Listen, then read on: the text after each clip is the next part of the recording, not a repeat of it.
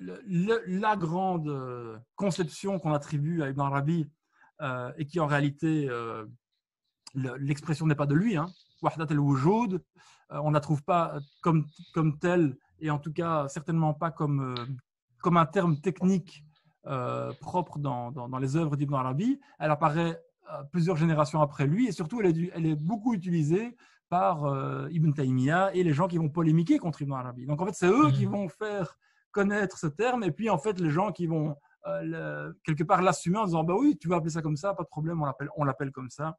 Et c'est bien ça qu'on défend. Donc l'unicité, c'est toujours compliqué à traduire. C'est impossible à traduire. Pourquoi? Parce que le terme wujud euh, en arabe est intraduisible. Parce que wujud en arabe vient de wajada, donc du fait de trouver, de faire l'expérience de quelque chose, mais qu'il va être utilisé très tôt par les philosophes, les vrais philosophes, hein, donc les gens dont, se réclame Averroès, euh, entre autres, pour, pour qualifier l'être, l'existence. Euh, et donc, euh, mais par exemple, pour, pour les soufis, le wujud, c'est l'être, mais l'être dont on fait l'expérience. C'est pas l'être comme concept. Tu vois? Mhm. C'est-à-dire que c'est l'existence, les choses palpables que je touche, ce que je vis. C'est ça l'être, en fait, l'existence. Et donc, Ibn Arabi va toujours jouer entre les deux. Il va jouer euh, sur une, sur une euh, euh, compréhension empirique de, de, l'être, vraiment une, une, une, dimension expérientielle de l'être, et il va rentrer dans les débats métaphysiques, dans les débats épistémologiques des philosophes et des théologiens, mais en, en, gardant cette compréhension expérientielle de l'être, si tu veux. et leur wahda, bon, évidemment, c'est l'unité, Hein, c'est l'unité, l'unicité. Le problème, c'est qu'il y a 15 000 mots euh, qui ont tous des nuances. Hein, et Ibn Arabi est, très attentif à ces nuances. Hein. Wahda, c'est pas ahadiya, euh, c'est pas wahdaniya. Euh, voilà, c'est. Mais ici, de nouveau, cette expression n'est pas de lui, donc on s'en fiche. C'est pas ça qui est important.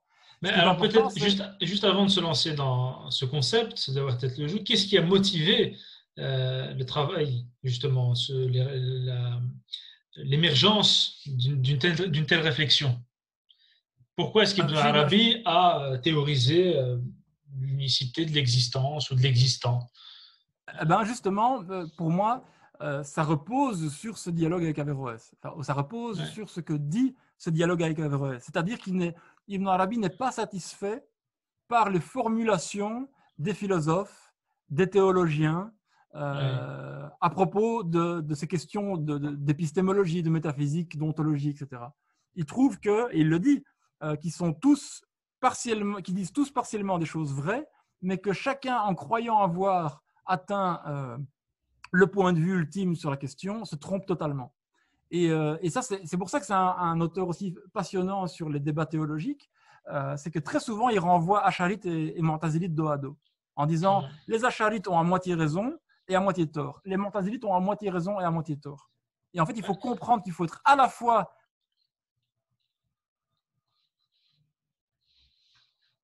et le, tout simplement euh, d'où vient la quête euh, épistémologique euh, d'Ibn Arabi ici, c'est la question du tawhid. C'est en fait qu'est-ce que quand le Coran nous répète que Dieu est unique, que Dieu est un, euh, quelles sont les implications métaphysiques de, cette affirmation? C'est vraiment ça son, sa quête. Hein. Et, en fait, c'est déjà présent bien avant lui, hein, comme je disais, euh, chez quelqu'un comme Junaid, euh, qui pourtant est, tu vois, est vu par beaucoup de gens aujourd'hui comme la, figure de, pardon, du soufisme soft ou du soufisme mainstream, très sunnite, très... mais enfin, ces gens n'ont jamais lu Junaid, parce qu'en fait, Junaid, c'est la Wahdat al-Wujud. Hein, euh, l'unicité euh, de l'être, elle est, elle est totalement euh, mot pour mot chez Junaid, elle est totalement mot pour mot mm. chez, chez Sarraj, chez, tous les soufis anciens en fait. Hein. Donc Ibn Arabi va juste dire, mais ce que ces soufis anciens ont vécu et ont dit de manière allusive, non pas dans le, dans le dialogue, non pas dans le, en dialogue avec la philosophie ou la théologie ou dans le terme technique de la philosophie et la théologie, eh bien moi je vais vous le dire. Moi je vais rentrer. Vous voulez jouer à ça, on va jouer à ça en fait. Vous voulez savoir euh, le lien entre substance et, accident euh, en partant de cette perspective, je vais vous le faire. Parce qu'aujourd'hui, ceux, qu'on voit parler de la Wahdat al sont souvent les personnes qui veulent en fait trouver une certaine unité euh, dans la pluralité. La pluralité des religions, la pluralité des, philosophies, la pluralité des, euh, des êtres, etc. Ils disent qu'à un certain moment euh, de la réflexion, à un certain niveau de la réflexion, tout en haut, on, est tous, on est tous ensemble, on est tous pareils. On, partage une essence commune. Alors, donc, là, je vois, je vois, tout à fait à qui tu fais, tu fais allusion, mais on, y, on bah, si, on suit le plan qu'on s'était fixé, on y consacrera une, émission euh, à proprement parler hein, sur le lien entre islam, bah, pluralisme. je, voulais savoir si c'était ça. Euh, si c'était ça. Non, mais, parce, que, parce, que, souvent, quand je lis euh, le, propos d'Ibn Arabi qui dit. enfin, c'est ce fameux propos. Le fameux poème. Le, ce fameux poème qu'on partage un peu partout et qu'on écrit un peu ah. partout, même les non-musulmans le partagent. Euh, qui dit que le cœur des on, va y, on va y revenir. On va y revenir et ça me sert, euh, ça va être une super transition. Euh. En fait, ça va être une super transition bah, bah, sur le, second concept qui pour moi est, est absolument important pour, enfin même pas important, est absolument essentiel et condition sine qua non pour comprendre Ibn Arabi, qui est, comme je disais, la, la, la la réalité muhammadienne. Mais donc, la question que tu poses ici, c'est une question de. Le problème, c'est que c'est une confusion de niveau. Tu vois? La question de, l'être que pose Ibn Arabi, c'est peut-on euh, affirmer tranquillement qu'il y a deux régimes d'être Qu'il y a l'existence pour nous et il y a l'existence pour Dieu. Tu vois? En fait, pour lui, ça pose deux questions. Ça pose, ça pose deux problèmes essentiels euh, qui sont, euh, que, les théologiens, les philosophes ne mesurent pas. Ça veut dire, au point de vue purement métaphysique, euh, qu'il euh, il, y a autre chose que Dieu, en fait, quelque part, tu vois C'est-à-dire que l'unicité de Dieu, ça ne veut pas dire que seul Dieu est et que tout le reste n'est que illusion par rapport à cette, à cette réalité divine. Non, ça veut dire que Dieu est une chose, quelque part, euh, tu vois, et qu'il y a d'autres choses par rapport à lui. Et donc, s'il y a d'autres choses par rapport à lui, ça veut dire que Dieu est situé, ça veut dire que euh, Dieu est différent d'eux. Donc, ça veut dire que pour, pour Ibn Arabi, Dieu n'est pas absolu. Pour, pour Ibn Arabi, si Dieu est absolu, il n'est limité par rien. Et donc, il ne peut pas être limité par euh, des, choses qui seraient autres que lui, qui seraient des formes de limitation de lui. Ça, c'est le, le, le, point de départ métaphysique radical qu'il prend, en disant, si vous voulez vraiment dire que Dieu est un, eh ben, arrêtez d'essayer de, lui donner une place, de lui donner un lieu, euh, de, lui donner des différences, de le limiter. En fait, il dit, vous, avec votre, votre intellect et vos critères rationnels, vous le limitez. Et, euh, c'est là que c'est super intéressant, parce que par exemple, sur, le, sur le, les fameux euh, débats acharit-montazélites, il va dire en fait l'erreur que font les montazélites, c'est qu'ils vont utiliser leurs outils rationnels pour soi-disant sauver Dieu, mais en fait, il le, il limite. Et en fait, il crée un petit Dieu qui est le Dieu de leur croyance. Et il dit là, mm. là où les acharites euh, ont, raison, c'est en essayant de sauver euh, cette absoluité et de, sauver le mystère divin quelque part. Mais il dit, mais là où ils ont tort, c'est que c'est qu'en fait, ils ne, ils ne s'autorisent pas à penser. Et ils ne s'autorisent pas à penser les implications rationnelles de ce qu'ils disent. Et donc, il dit, en fait, il faut, il faut euh, synthétiser les, les deux approches. Et donc ça, c'est le, problème métaphysique. Il ne peut pas y avoir autre chose en réalité euh, que Dieu. Euh, et il y a un autre problème, c'est un, problème spirituel et anthropologique, euh, qui est que ben, si en fait la réalité de Dieu est la vraie réalité, si Dieu est, si Dieu est, et que nous notre existence c'est juste une existence secondaire, en fait on vit dans une espèce de, tu vois, d'illusion qui n'a aucun sens, et en fait on s'en fiche quoi vois Et donc le lien entre les deux, euh, il ne devient, il devient pas très évident. Et, mhm. Dieu devient une espèce de, démiurge euh, créateur qui crée, qui crée une espèce d'existence de, virtuelle comme on créerait un jeu vidéo euh, dans lequel il y a des petits bons hommes.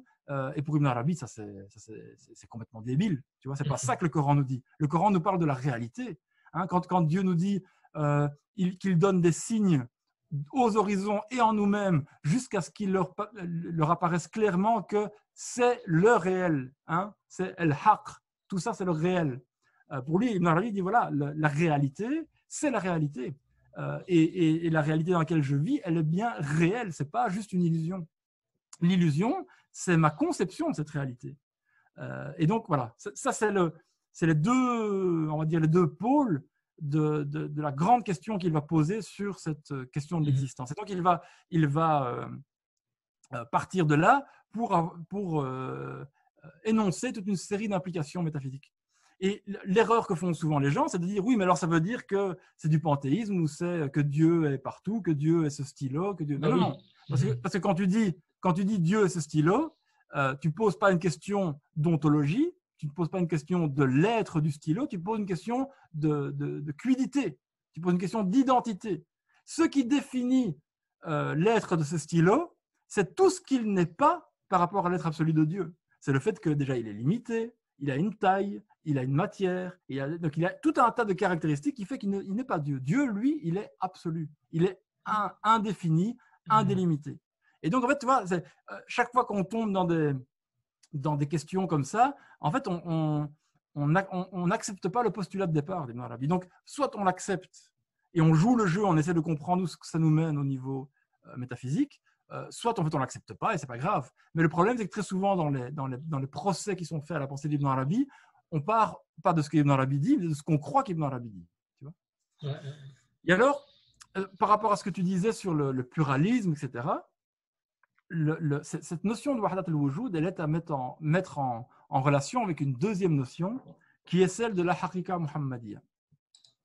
Alors, la, la Harika c'est tout simplement euh, l'affirmation pour Ibn Arabi que ce que le prophète manifeste, à la fois en tant qu'être humain et en tant que porteur de, de la révélation divine, est une réalité qui n'est pas seulement historique. La manifestation euh, historique n'est qu'une manifestation, qu'une incarnation d'une réalité euh, spirituelle qui existe euh, de toute éternité. Et pour, pour Ibn Arabi, cette, cette, réalité, c'est même la, la, la, toute première réalité.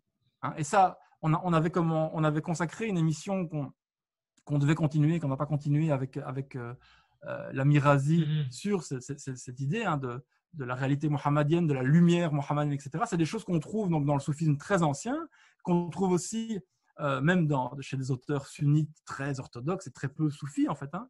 Mais donc c'est cette idée que la réalité du prophète précède même la création de, l'être, de, Adam et de l'être humain. Euh, la réalité mohammedienne pour Ibn Arabi, c'est tout simplement euh, le niveau de l'être qui est, qui, qui, est le, comment on va dire ça, c'est le premier niveau de détermination de l'être, tout simplement. C'est la première chose qui est autre que Dieu. Pas autre que Dieu, mais qui est euh, à part Dieu, on va dire. Hein. Il y a Dieu qui est absolu, et donc dès qu'on en dit quelque chose, c'est déjà autre chose. Et eh ben, le niveau le plus englobant, le moins déterminé, le moins conditionné, euh, c'est ce que Ibn Arabi appelle le Hakka Muhammadiyya. Donc c'est quoi? C'est l'être adamique? Ah non, justement, l'être adamique, ça c'est l'être humain en fait, mm. l'être adamique est, une manifestation, du coup. En fait, tout ce qui va venir ensuite sont des degrés de manifestation euh, de, cette, réalité mohammedienne. Euh, et donc, euh, le, le, l'être adamique. C'est, quelle dimension chez Mohammed? Parce que Mohammediya, est-ce que ça ah, ben renvoie à, l'être prophète, à l'être messager Alors, ben justement, exactement. Ça, ta remarque, elle est très juste. En fait, Ibn Arabi est très clair. Mohammed ibn Abdullah, comme il l'appelle, mhm. son corps, il est fils d'Adam.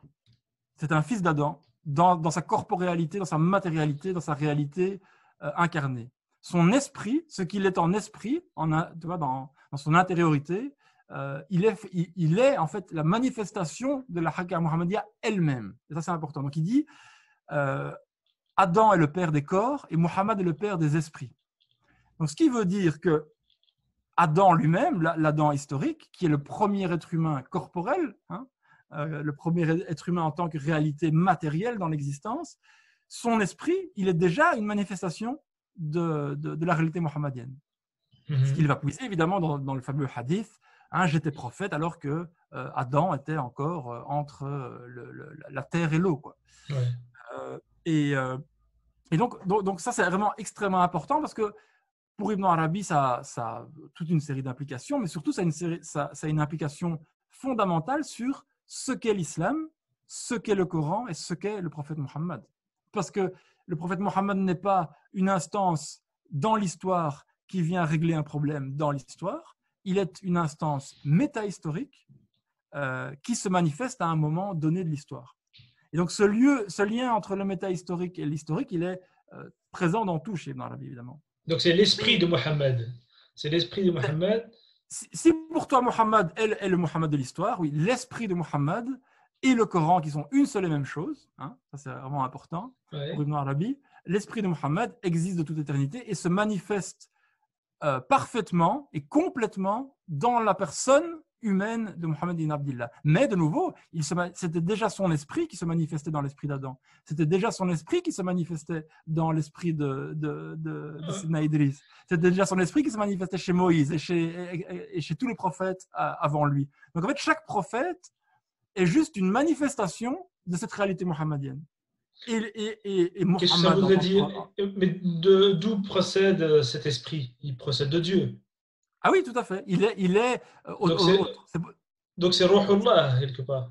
Exactement, tout à fait. C'est quelque part, euh, c'est une des manières, on pourrait. Euh, en fait, tout ça, tout ça va commencer à devoir être euh, agencé et tu vois, on, va on va devoir pouvoir déterminer ce qu'est ce qu'est l'un et l'autre et, mettre des espèces de degrés. Et, c'est ce que Ibn Arabi fait de mhm. manière magistrale, justement. Mais c'est ça le, le aql al-awwal pour certains, c'est le qalam, c'est le ruh, la première manifestation du ruh, etc.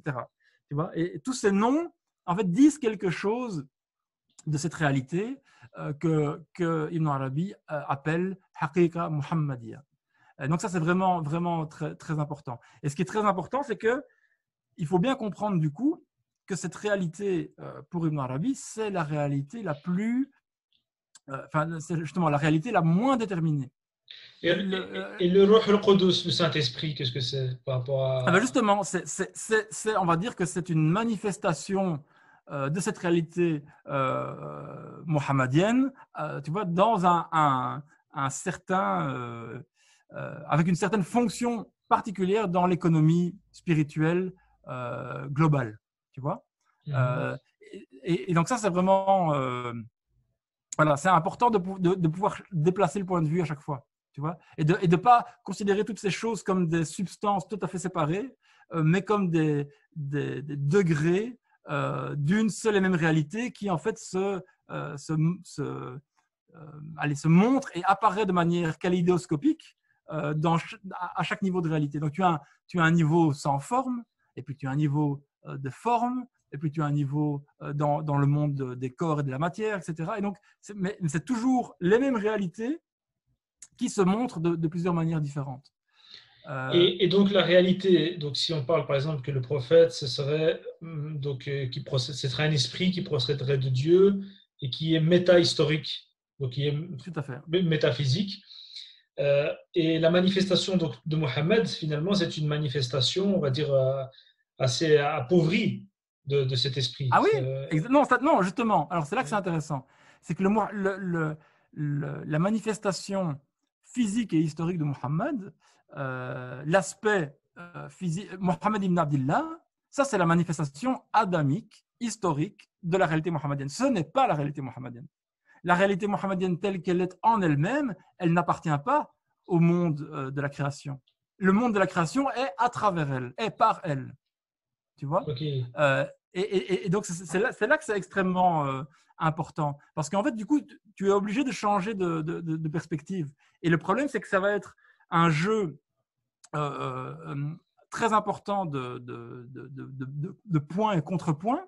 Parce que la, la réalité du prophète Mohammed, elle est métahistorique, elle est métaphysique, mais y avoir accès dans l'histoire en tant qu'être humain nous-mêmes, de la manière la plus parfaite, la plus complète et la connaître telle qu'elle est en elle-même, c'est bien par le Mohammed historique qu'on y a accès. Parce que le problème, c'est que lorsqu'on a accès à Adam, et en fait on a tous accès à Adam, parce que Adam c'est notre réalité humaine, et eh bien en fait on a, on a quelque part accès à, une, à, déjà une manifestation de cette réalité mohammedienne. Sauf que oui, on n'y a accès que c'est la réalité mohammedienne dans une forme adamique. Tu vois? Lorsqu'on mhm. a accès euh, à, à, à, Jésus, au Christ, hein, euh, au, peu importe comment on, le considère d'ailleurs. Hein. et, là-dessus, Ibn Arabi est très fort parce qu'il va même, il va même expliquer la Trinité et dire, mais oui, je comprends tout à fait qu'on, je comprends tout à fait, la Trinité, ça a du sens. C'est juste que c'est pas parfait. C'est pas, c'est pas la, la, formulation la plus ultime et la plus juste de Dieu. et donc en fait, quand on a accès au Christ, on a accès aussi à Mohammed d'une certaine manière. sauf que de nouveau, c'est pas la, clé la plus parfaite pour comprendre ce qu'est la réalité muhammadienne. La clé la plus parfaite pour comprendre la réalité muhammadienne, c'est Muhammad ibn Abdullah et c'est le Coran qui sont deux, une seule et même chose. Comme le dit la, fameuse tradition, hein. il, était un Coran qui marche sur la terre et son, son rôle, sa, constitution, c'était le Coran. Ils, étaient mhm. tous les deux une seule et même chose. Mais alors à ce moment-là, est-ce que Ibn Arabi a théorisé une sunna qui serait. Ah oui, oui. Alors justement, ça, on y reviendra si tu... dans, la prochaine émission. Hein. Parce que, le Mohamed historique, souvent, bon, aujourd'hui, on le connaît à travers la Sierra qui est elle-même problématique et euh, les hadiths qui sont eux-mêmes problématiques.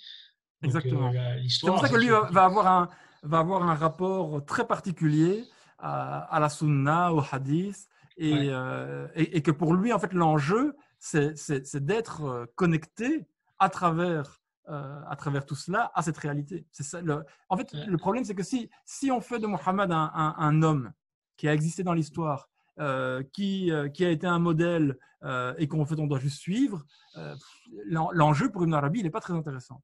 L'enjeu, mhm. c'est que on doit suivre Mohammed et sa sunna pour connaître Dieu, pour connaître la réalité ultime, tu vois. Mhm. Et pour, pour, pour voilà, c'est un, un, un, un, chemin de connaissance euh, certains pourraient dire de gnose ou, euh, ou, un chemin mystique, euh, peu importe comment on veut l'appeler, si on, tant qu'on comprend bien ces termes.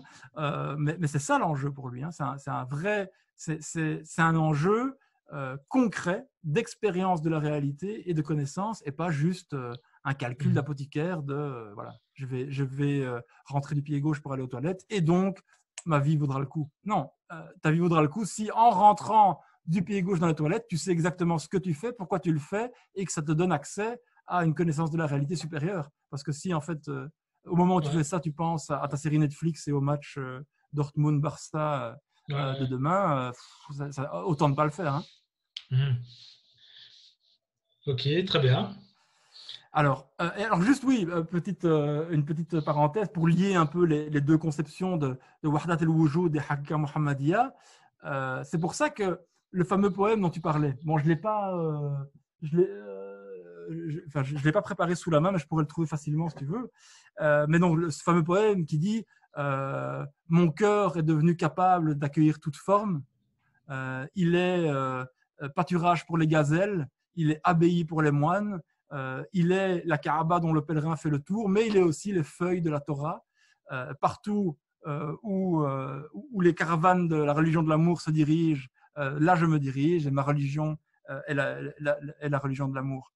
Euh, ce fameux poème hein, qui est très beau, très, on dit, ah ben voilà, c'est la preuve que Ibn Arabi est sorti du cadre de l'islam, tu vois, de la référence à, à, Muhammad, à la Sunna, au Coran, c'est très clair, quoi. En fait, son cœur est tellement purifié de tout que, en fait, voilà, la Kaaba, c'est juste une forme parmi d'autres. Oui, sauf que ce, que les gens savent pas, c'est qu'Ibn Arabi a écrit un, commentaire de ce poème. Il a expliqué ce, que voulait dire ce poème. Et qu'il dit bien, euh, justement, euh, oui, non, non, mais attention, euh, ce cœur purifié, il n'est purifié que par ma relation à Mohammed. Et en fait, ce cœur purifié, c'est la, réalité mohammedienne. Et donc, tu vois, il y a, toujours un jeu extrêmement important entre, le, relatif et l'absolu. Pour Ibn Arabi, l'absolu qui s'oublie, c'est une forme de, relativité barbare. Tu vois Donc pour lui, par exemple, toute la philosophie rationaliste euh, telle qu'elle était, telle qu'elle avait lieu à son époque, mais on peut imaginer s'il avait lu des philosophes euh, modernes et contemporains, voilà, il aurait, vraiment dit, mais là, vous êtes vraiment, en fait, ce que vous dites n'est pas inintéressant, ce que vous dites n'est pas faux absolument, ce qui est absolument inintéressant et, absolument et radicalement faux, c'est que vous croyez que ce que vous dites, c'est la réalité ultime. Et que vous ne comprenez pas ce, jeu entre le relatif euh, et l'absolu. Et donc, Ibn Arabi, lui, il est toujours dans ce jeu entre le relatif et l'absolu. Et pour lui, le seul relatif qui donne accès à l'absolu, c'est un relatif qui est conscient euh, d'être relatif et d'être en lien avec l'absolu. Et pour lui, ça, c'est le propre de la révélation de Muhammad et du Coran. C'est passionnant quand on t'écoute. Hein. Vraiment. Ah ben, il y a... Mais cela étant, il faut quand même rester très focus sur le fait que la pensée d'Ibn Arabi est exigeante. Ah non, mais elle est extrêmement. Et franchement, je, donne, je, donne, toujours cet exemple. Bon, euh, si c'est pas très intéressant de parler de moi, mais bon, ça fait quelques années que, que je, je, lui, consacre euh, tout mon temps et tout, tout, mon travail. Et, j'ai l'impression d'avoir euh, d'avoir accès à. Je ne sais, même pas évaluer le, pourcentage, mais il doit être infime par rapport à, la profondeur de ce qu'il propose. Et le jour où j'ai réalisé ça, c'est le jour où, où j'ai entendu Denis Grill, qui a consacré toute sa vie, lui, hein, à Ibn Arabi, qui maintenant est, quand même a, derrière lui un, parcours d'études, de travail, de publication, de traduction énorme autour d'Ibn Arabi. Et, euh, euh, la personne le présentant en disant oui, voilà, un des grands connaisseurs d'Ibn Arabi en Occident. Euh, et Denis Grill a dit en fait, je ne sais pas ce que c'est un connaisseur d'Ibn Arabi. Et je pense que ce n'était pas une figure de fausse modestie. Je pense que tu remarques ça chez tous les grands spécialistes d'Ibn Arabi c'est que confronté à, l'immensité de ce qu'il propose et de se dire mais comment, enfin déjà comment est-ce possible de comprendre ça et comment est-ce possible de l'avoir produit et de l'avoir dit, eh ben, en fait on ne peut être que, extrêmement humble euh, et extrêmement petit. C'est pour ça que euh, je me permets une référence à la fameuse, euh, un article que j'avais publié à l'époque dans, dans, LDC en disant que quand, quand Abdel Nourbidar avait fait cette fameuse déclaration, hein, l'autorité spirituelle d'Ibn Arabi est terminée, euh, tu vois, là, pour le coup, l'humilité et le. C'était cavalier. Euh, mhm. C'était un peu cavalier, quoi. Tu vois, c'est un peu, c'est un peu, euh, voilà, de, quoi tu parles en fait. Je, mhm. si, si, tu veux faire un effet d'annonce pour un peu ruer dans les brancards et tout, je comprends, mais c'est un peu dommage de, de, de manquer de, de, respect pour l'immensité de ce que Ibn a toujours à, nous proposer aujourd'hui pour le faire, en fait. tu vois, il s'est un peu trompé de cible, je pense cette, humilité, on l'a, cette humilité, on l'a aussi chez les juristes. Hein. Ils disent oh là là, la science de l'imam Malik ou de Shafi'i. Euh, Exactement, tout à, fait, On en apprend tout le temps. Quoi, hein. Exactement. Alors voilà, je voulais vous proposer pour montrer euh, euh, ça. ça bon, j'ai pas de. J'ai pas de données historiques sur, sur, cette, sur, voilà, sur cette faïence, mais enfin sur cette calligraphie qui, je pense, sur peut-être pas en fait, c'est plutôt une, une fresque. Mais on voit en fait ici la manière dont, tu vois, le nom de Mohammed et de Dieu sont, euh, sont interconnectés, mhm. euh, qui est donc de, culture ottomane. Et, euh, et je pense que c'est clairement, ça fait partie des œuvres qui sont directement inspirées de la pensée d'Ibn Arabi. Et ça, c'est pour moi le, une figuration parfaite de la, de la Hakika Muhammadiyya. Il y, y, en a d'autres, dans une autre émission, je pourrais te montrer, il y a un fameux carré magique avec tous les noms divins euh, et la valeur numérique de chaque nom divin. Et tu vois, le carré magique, c'est-à-dire que c'est des carrés dans lesquels la somme de chaque euh, tranche euh, est équivalente. Tu vois, c'est un peu comme les, sudoku. mais... Et en fait, tu as tous les noms divins et leur valeur numérique, tout fonctionne. Tout ils sont mis d'une manière que tout est mathématiquement parfait. Et le dernier nom du carré qui fait que donc l'ensemble fonctionne, bah, c'est le nom Muhammad. Ça, ce sont mhm. des gens qui ont. C'est une fresque du 14e siècle, je crois. Hein. C'est ça. Hein, oui, exactement, tout à fait. Ouais. Ok, donc là on voit en fait Mohamed, Allah. ah oui, pardon, oui, désolé, désolé. Ouais, ouais, Mohamed, Allah. Euh, et et au-dessus, c'est Jalla Jalaluh, je crois. Hein. C'est ça, Jalla Jalaluh et alayhi salam euh, à, à, côté. Donc voilà, les deux, les deux faces, entre guillemets, euh, d'une même réalité pour nous. Très bien. Alors, Maintenant, peut-être, euh, bon, on va s'acheminer tout doucement vers la fin. Parler de, la postérité d'Ibn Arabi en quelques mots. On a déjà parlé de, la postérité des, Ottomans. Mais bon, la, première, euh, elle, est évidente, c'est celle au sein du soufisme. ici, on a une photo de, la tombe d'Ibn Arabi elle-même, hein, à l'intérieur de, donc, du, Tu as déjà été? Non, malheureusement. Écoute, mon problème, c'est que depuis depuis que j'étudie Ibn Arabi, euh, la série est en guerre et donc euh, ah je n'ai pas encore osé aller. Là, beaucoup de gens me disent que je pourrais commencer à y aller. Le problème, c'est qu'évidemment, si tu te rends en Syrie, euh, après, tu t'exposes te, à tout un tas de difficultés, notamment quand tu vas beaucoup aux États-Unis, comme c'était mon cas avant. donc voilà, j'ai évité jusqu'à présent, mais évidemment, ça me brûle et j'aimerais beaucoup y aller. Inch'Allah. Alors, là, au niveau de, la postérité. Il y a aussi Ibn Taymiyyah à Damas. Hein.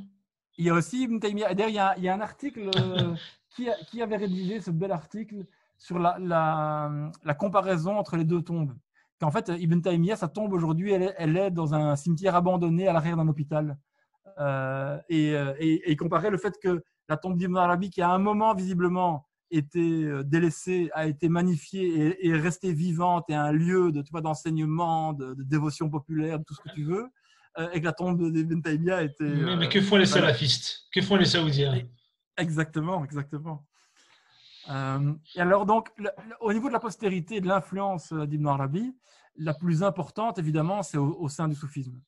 Euh, l'influence d'Ibn Arabi dans tout le soufisme après lui est immense. Que ce soit des gens qui se réclament ouvertement de lui en tant qu'il est le cher El Akbar, le plus grand des maîtres, etc., ou qui commandent son œuvre, ou d'autres qui ne vont pas du tout euh, en parler spécialement. Mais en fait, la manière dont il va définir les termes, la manière dont il va euh, clairement formuler doctrinalement ben, les questions, comme on disait tout à l'heure, d'ontologie, les questions du rapport entre prophétie et sainteté, euh, toutes ces questions essentielles, en fait, tout le, on va dire tout le cadre métaphysique, doctrinal euh, et agiologique, pour le, dire de manière docte, tout ce qui concerne la sainteté, qui est, le propre de la science du soufisme, euh, en fait, tous, les auteurs après Ibn Arabi vont s'inscrire dans son, euh, sillage. Et parfois pour, euh, pour dire des choses un petit peu différentes, ou tu vois, ça ne veut pas dire qu'on est dans le suivisme aveugle, mais ça veut dire que Ibn Arabi a vraiment tracé le cadre et, que si, on veut regarder du point de vue doctrinal, ça c'est ma thèse, hein, c'est qu'il y a deux moments radicaux dans l'histoire du soufisme. Le premier, c'est Junaid, Hein, Junaid qui vraiment va placer le soufisme en, en, en, corrélation avec toutes les autres sciences religieuses et faire valider et reconnaître le soufisme comme une science religieuse orthodoxe à part entière. Et puis tu as Ibn Arabi qui lui va, à partir de cette position de Junaid, et il va vraiment la tenir et il va vraiment euh, toujours y faire référence, il va, va explorer les implications spirituelle et métaphysique euh, dans leur, euh, au, plus loin possible. Ça va aller jusque dans la science des lettres, l'explication voilà, de la nature supra et, enfin, supranaturelle et métahistorique de des lettres de la langue arabe, etc. etc. Et donc, cette influence d'Ibn Arabi, elle, dans le soufisme, elle, elle, a perduré jusqu'à aujourd'hui. Et tu vois ça dans, même dans des tariqas euh, contemporaines dans lesquelles, par exemple, les maîtres vont te dire non, non, non, non lisez pas trop Ibn Arabi parce qu'en effet, euh, c'est une pensée, euh, tu vois, très subtile, très âpre, enfin qu'il faut, il faut, il faut vraiment pouvoir s'y mhm. confronter, et que le problème c'est que les gens vont lire deux trois trucs et puis ils vont commencer à, à tirer des conclusions farfelues, comme avec ce fameux poème, tu vois, vont lire ah ben voilà Ibn Arabi dit que son cœur est capable d'être un pâturage pour les gazelles et une abbaye pour les moines, donc je vais pas me lever pour faire demain. Euh, et, je vais aller goûter ce fameux jambon d'Aoste dont j'entends parler. Oui, non, sauf que c'est pas du tout, c'est pas du tout le projet spirituel d'Ibn Arabi, quoi, tu vois. Euh, et, donc, et, donc, le problème, c'est ça, c'est de, de, faire dire à Ibn Arabi euh, ce qu'il n'a pas dit et certainement, enfin, certainement ce qu'il n'a pas dit et sans doute ce qu'il n'a pas pensé. Bon, on le verra dans la deuxième partie, dans la seconde émission. Exactement.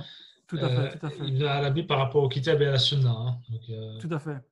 Et alors, donc, on parlait tout à l'heure de, de, son, de son importance dans toute l'économie spirituelle, théologique euh, et, symbolique du monde ottoman, euh, mais euh, c'est tout à fait vrai aussi dans le monde iranien et dans, et, dans l'empire safavide qui va se constituer contre l'empire ottoman, où en fait Ibn Arabi va être une des références les plus importantes pour construire la pensée chiite et notamment toute la dimension de l'irfan, hein, la, la, gnose chiite. Euh, c'est vraiment Ibn Arabi et, les penseurs de son école, après lui, des gens comme Qaisari, comme Jami, euh, vont être vraiment le, substrat ben, de, personnes comme Mola Sadra euh, ou, d'autres.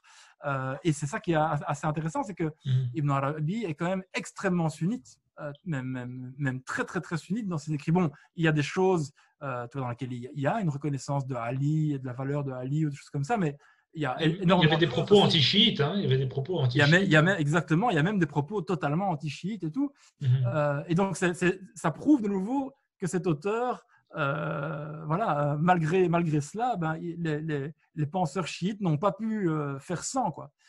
et, et c'est vrai que moi, aujourd'hui, moi, je suis toujours vraiment épaté quand tu rencontres des étudiants euh, iraniens qui ont fait un cursus universitaire dans les sciences humaines, peu importe dans le domaine, hein, et, je crois même ça va au-delà au des sciences humaines, ils connaissent tous relativement bien Ibn Arabi, c'est-à-dire qu'ils ont tous lu des textes d'Ibn Arabi, ils ont tous dans des cours, euh, m'expliquait une étudiante, euh, des cours de, par exemple, de, que ce soit euh, d'anthropologie ou tu vois, ou de psychologie, eh ben, les, profs vont toujours à un moment dire ouais, eh ben, là-dessus Ibn Arabi disait que. donc ah ça fait, Ibn Arabi est vraiment une référence intellectuelle pour eux qui fait partie de leur paysage, le paysage de la culture bon, la culture quand même un petit peu lettrée, hein, mais de la culture de base. Ce n'est pas vraiment pour les gens seulement qui sont dans la gnose et la philosophie, etc. Alors que par exemple au Maroc ou euh, au Maghreb, Ibn Arabi, on ne le citera jamais, je pense. Aujourd'hui, malheureusement, mm. non, c'est ça. Alors que dans, dans, des, dans des auteurs extrêmement influents euh, au Maroc, comme euh, ben, Ahmed Tijani, qui, le cite énormément dans ses propres écrits, et, dans la Tijaniya, on sait, on sait à quel point le, les doctrines d'Ibn Arabi ont eu une influence, une importance mhm. décisive pour dessiner les contours doctrinaux de, de, la Tijaniya mais, et, encore après lui, des gens comme euh, Ahmed ibn Ajiba, euh, donc plutôt dans la oui, donc, là, on est, on est quand même dans un savoir assez, assez savant. Enfin, le oui, sauf que la Darkaouia, mais, non, parce que la, la Il n'est pas rentré dans le monde populaire, je veux dire, c'est ça que je voulais dire. Mais si, en, fait, si, si, si. Alors, il est rentré comment? Il est rentré euh, par les pratiques dévotionnelles. C'est-à-dire que dans, dans, dans ces tariqas, les gens qui sont dans la Tijaniya ou dans la, euh, la Darkaouia, les litanies qui vont réciter, les poèmes qui vont, qui vont chanter dans le Sama et, compagnie, euh, sont remplis en fait de, de, doctrines d'Ibn Arabi, tu vois, euh, parce que les gens qui ont écrit ça, en fait, ont été extrêmement influencés par la pensée d'Ibn Arabi. Mhm. Alors parfois, il y, a des, choses, il y a même des mystères. Hein. la fameuse Salat Machishia des, des, Shadili. on ne sait pas en fait si euh, si Ibn, euh, Ibn Mashish a rencontré Ibn Arabi ou pas, on n'a aucune trace historique. Mais quand tu lis ce texte, tu as vraiment l'impression que euh, qu'ils l'ont écrit ensemble. Quoi. mais en tout cas, voilà. Tu pour revenir à l'Iran, pour revenir à l'Iran, il y a quand même il y a, un déchirement quand même dans le milieu religieux iranien concernant Ibn Arabi. Ah oui, tout à fait. Entre les Arba... Il a, il a semé la zizanie hein, quelque part. Hein. Tout à fait, tout à fait. Mais ce n'est pas lui qui a semé la, la zizanie. Je pense que la, la, fracture, c'est entre les Arbari et les Oussouli de manière générale. Mhm. Et pour les Arbari, ben, évidemment, Ibn Arabi est, est, insupportable comme, comme toute forme de, de pensée. Euh, euh, tu vois, les Arbari, c'est un peu les, les Wahhabites du, du, du, du schisme. Et donc, c'est le, même, le même rejet de toute pensée euh, spéculative, entre guillemets, ou de toute formulation un petit peu doctrinale qui n'est pas qui n'est pas celle du Coran ou, euh, ou des hadiths euh, authentifiés par eux. Mhm. Euh, D'ailleurs, Feu Yahya Bono nous a bien montré que Khomeini, l'ayatollah Khomeini, était un fervent défenseur d'Ibn de, Arabi. Ah et, non seulement un fervent défenseur, mais même un, fervent commentateur qui s'inscrit totalement dans cette tradition de commentaire. Donc, il, mhm. a, il, a, il a écrit un commentaire qui est en fait un commentaire du un commentaire d'un commentaire de Foussel Hikam. Euh, et donc ça montre vraiment euh, euh, cette, tradition et, où il s'inscrivait. Donc il a commenté Qaisari, le fameux Qaisari à, qui les Ottomans ont confié la fondation de leur système d'enseignement, qui a écrit le, commentaire des Foussel Hikam peut-être le plus influent dans le monde musulman, qui a énormément influencé notamment Mola Sadra. Euh, et donc, euh, voilà, euh, Khomeini a écrit des, des petits commentaires sur ce commentaire. Ce n'est pas un commentaire systématique, c'est des petits. Des gloses. un passage, et, mhm. voilà, des, petites gloses, des ta'alikrat. Mm Exactement.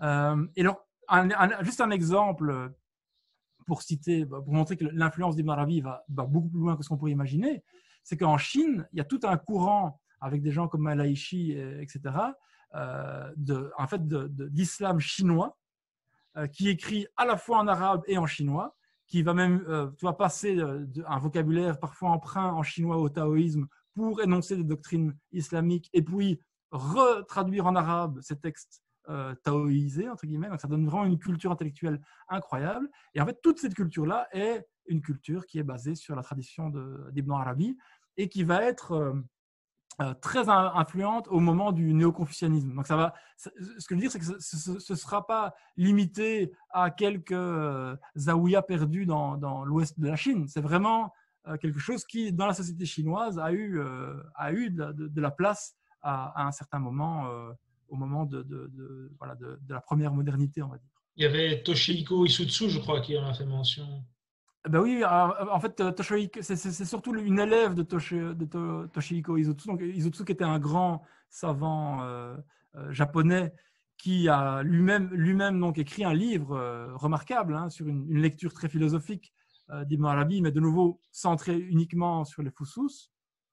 mais mais c'est surtout sa, sa, disciple Sachiko Murata euh, qui, euh, qui, elle, a, a, publié maintenant plusieurs ouvrages sur cette tradition chinoise et qui traduit en fait en anglais euh, mhm. tous ces traités d'akbarisme de, de, chinois, on va dire. C'est vraiment, c'est vraiment prodigieux. Je vous conseille d'aller lire. De l'Andalousie au Japon. Ah oui, c'est ça. Et alors, et aussi évidemment à la plus loin encore, enfin plus loin que la Chine en tout cas, en, dans le monde indonésien et malais, euh, les, théories euh, d'Ibn Arabi et le, soufisme chargé de ces, de, doctrines, euh, c'est vraiment ce qui a séduit l'Indonésie et qui a été un des facteurs de conversion de, l'Indonésie. Mm-hmm. Et alors, la, dernière postérité qui nous, qui nous touche directement, c'est ce qu'on appelle souvent le, pérennialisme hein, ou le traditionnalisme. C'est cette forme d'ésotérisme contemporain, enfin du XXe siècle en tout cas, euh, qui, euh, qui, qui centré autour de la, figure de René Guénon, euh, qui en fait va faire revivre cette tradition d'Ibn Arabi. alors c'est très intéressant parce que en fait il y a une filiation historique directe entre cette tradition d'Ibn Arabi et quelqu'un comme René Guénon et surtout les gens qui vont venir après lui. Mais René Guénon est vraiment central et d'ailleurs, dans les dernières lettres euh, à la fin de sa vie, parmi les projets euh, qu'il qu'il veut porter, qu'il dit à son cerveau, voici ce qu'on doit développer dans les prochaines années. Et il dit, voilà, vraiment, études massives et traduction massive des œuvres d'Ibn Arabi, ça faisait partie de ses priorités, visiblement.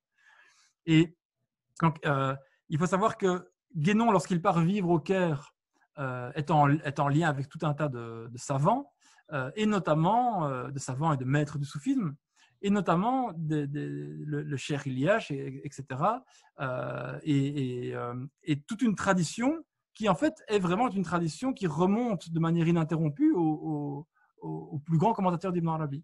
Euh, et notamment à l'émir Abdelkader, qui est, qui, c'est vrai qu'on ne l'a pas mentionné, mais qui était à la base enterré juste à côté d'Ibn Arabi, hein, dans le même mausolée, et qui a vécu toute la fin de sa vie mhm. à Damas, dans la maison dans laquelle vivait Ibn Arabi à Damas. Euh, et puis et qui était un grand commentateur de, d'Ibn Arabi, eh ben, le, cercle autour de Abdelkader, euh, qui va justement produire une, édition des, des Futuhat hein, et qui va faire imprimer les Futuhat et les diffuser pour lutter entre autres contre l'islam de, Mohamed Abdou et de Jamal al-Din Afghani en disant non, non, non, on n'en veut pas de votre truc scientisto-philosophico-maçon, là, nous on veut euh, voilà, si on doit développer la philosophie, ça va être ça.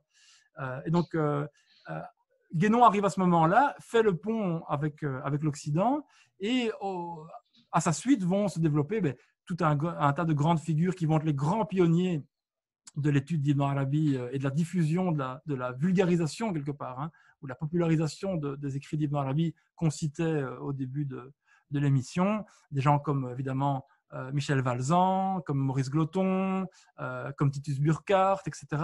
C'est euh, à travers Guénon que, voilà, qu'ils ont découvert l'héritage d'Ibn Arabi et qu'ils l'ont fait connaître en Occident. mention intéressante, quelqu'un qui va connaître quelque part ce rapport à Ibn Arabi par René Guénon, mais qui va s'en distancier à la fin de sa vie, Fridjof Chuon, de manière très, qui cite beaucoup Ibn Arabi aussi, comme, euh, voilà, comme, comme, euh, dans la lignée de, cette tradition, à la fin de sa vie, va être euh, dérangé en fait par le caractère justement islamique et mohammadien de d'Ibn Arabi et, mhm. et, de René quelque part. et ça, c'est assez intéressant parce que ça, ça, en dit long sur la subtilité de la position d'Ibn Arabi. Donc, pour, pour Chion, qui lui est dans une vision très, qui se veut transcendante et qui, qui, se veut affirmer la validité d'un certain syncrétisme, comme il le dit lui-même, ben, Ibn Arabi est trop exotérique. Alors c'est assez génial. De, de, trop musulman. Être trop musulman, quoi. voilà. Pour d'autres, pour tout, tout, tout, un tas d'autres penseurs comme ben, comme Burkhardt, comme Saïd Hossein Nasr, qui, qui, sont pourtant dans, dans, dans la continuité de, de Chion. visiblement, ça n'a pas été le cas. Euh, et puis il y a une autre figure qui est, importante de, de, mentionner, euh, qui s'inscrit dans cette continuité, mais qui s'en émancipe très très vite, c'est Henri Corbin, euh, qui lui va faire connaître Ibn Arabi à travers son livre L'imagination créatrice dans le soufisme d'Ibn Arabi.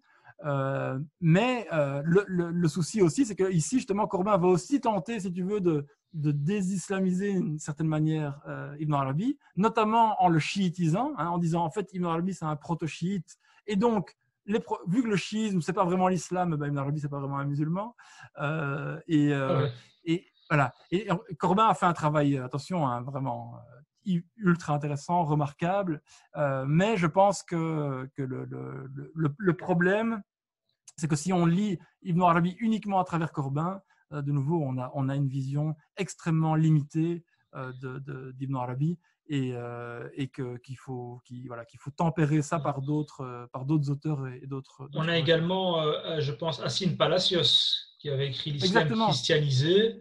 Où il oui, c'est génial. Ibn Arabi comme étant un proto-chrétien. Un chrétien. Mais, en fait, on dit non, c'est-à-dire que ça, ça, veut dire que tout le monde, tout le monde veut se l'approprier en fait, et tout le monde euh, trouvent dans, dans, la pensée des écrits d'Ibn Arabi quelque chose qu'ils veulent, euh, ils veulent pour eux, quoi, tu vois Ils mhm. veulent en faire un, un, gars à eux. Euh, et donc, voilà. Et, et, c'est vrai que la, bon, la thèse de Palacios est problématique sur plein, de, sur plein de points, mais il a fait un travail remarquable. Et surtout, il a, lui, justement, pour le coup, dans son livre L'islam christianisé, il a traduit tout un tas de, petits traités d'Ibn Arabi, tout un tas d'extraits des Futuhat. Donc, il a fait un vrai travail euh, de diffusion de, la pensée d'Ibn Arabi qui est, vraiment loin d'être inintéressant. Et euh, euh, quelqu'un d'autre, par exemple, qui a fait tout le contraire, c'est Louis Massignon, qui détestait hein, Ibn Arabi, qui le considère comme un espèce de grammairien de, la spiritualité, là où Hallaj serait la flamme du pur amour mystique. donc, il est vraiment très dépréciatif d'Ibn Arabi. Et donc, ça, voilà, tout ça fait partie si tu veux, je pense, ça entretient toute une série de mythes autour de la pensée d'Ibn Arabi. Tu vois, mhm. tu as le soufisme, le soufisme ancien qui est le vrai soufisme hein, de Hallaj. Ibn Arabi, c'est plus vraiment le vrai soufisme, c'est un truc idiosyncratique, euh, euh, pseudo-philosophique, etc. Euh, en fait, Ibn Arabi, c'est plus vraiment du sunnisme, c'est un espèce de crypto-chiisme. En fait, Ibn Arabi, c'est un espèce de philosophe euh, émancipé du cadre islamique. Et donc, tout ça, ce sont des mythes de gens qui essaient de se réapproprier sa pensée. mais, on, a, encore, ça, ça continue jusqu'à aujourd'hui, j'imagine. Hein, euh. Ah oui, exactement. et, les enjeux sont là, sont là aujourd'hui où Ibn Arabi va être, euh, va être utilisé, invoqué pour justifier tout un tas de, euh, de, de, démarche euh, à l'intérieur de l'islam. Euh, et, voilà, et je pense que c'est ça qui est intéressant, c'est que d'un côté, on va l'utiliser pour justifier, et d'un autre côté, on ne se conforme pas du tout à ce qu'il raconte. Et donc, ce, ce, genre de, de, dialectique est assez, assez intéressante. Et je voulais juste terminer par, par un extrait du, de, bah, justement d'une de ses œuvres qui montre bien en fait le rapport qu'il a euh, bon, c'est un extrait un peu, euh, vous allez voir, un peu fort, hein, mais qui montre bien le rapport qu'il a justement entre le Coran, l'inspiration, l'expression et euh, cette espèce de prophétisation qu'il a eue du fait qu'il allait avoir une influence jusqu'aux confins de l'Orient et de l'Occident. Donc il dit, c'est dans un, dans un diwan poétique dans lequel il, il, a des poèmes, des explications de poèmes, et il explique pourquoi est-ce qu'il écrit de la poésie en fait. Donc il dit, la raison qui m'a conduit à proférer de la poésie est que j'ai vu en songe un ange qui m'apportait un morceau de lumière blanche et on eût dit qu'il provenait du soleil. Qu'est-ce que cela? demandai-je. Il lui répondit C'est la sourate El-Shuara, les poètes. Je l'avalai et je sentis un cheveu. Donc, il joue ici sur hein, le, c'est mis entre, entre shiar, shar, shuara. Donc, je l'avalai et je sentis un cheveu qui remontait de ma poitrine à ma gorge puis à ma bouche. C'était un animal avec une tête, une langue, des yeux et des lèvres. Il s'étendit jusqu'à ce que sa tête atteigne les deux horizons, celui d'Orient et celui d'Occident. Puis il se contracta et revint dans ma poitrine. Je sus alors que ma parole atteindrait l'Orient et l'Occident. Et quand je revins à moi, je déclamais des vers qui, ne procédaient d'aucune réflexion ni d'aucune intellection. Depuis lors, cette inspiration n'a jamais cessé. Donc, ce qui est super intéressant ici, c'est qu'on voit que euh, son rapport à la poésie, il est, il est, il est, fondé dans un rapport au Coran.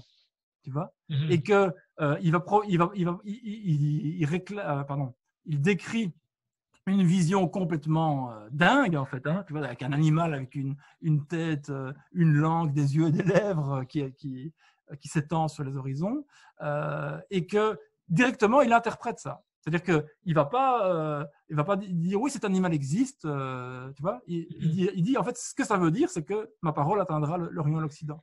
Et puis, euh, en, fruit de cette vision, fruit de cette expérience qui se fonde à la base dans un rapport au Coran, hein, eh ben, il, il, a une inspiration qui, ne, qui ne, ne, passe pas par le filtre de sa réflexion et, de, et, du mental, et que cette, inspiration ne l'a jamais, jamais quitté. Et donc tous ces livres, il le dit, sont, sont le fruit de cette inspiration et, euh, et de, ce rapport au Coran, car comme il le dit, euh, tout ce, tout ce qu'il écrit et tout ce qu'il raconte procède directement du Coran et on verra ça. C'est une inspiration et non pas une révélation, c'est ça hein Exactement, tout à fait. C'est un ilham.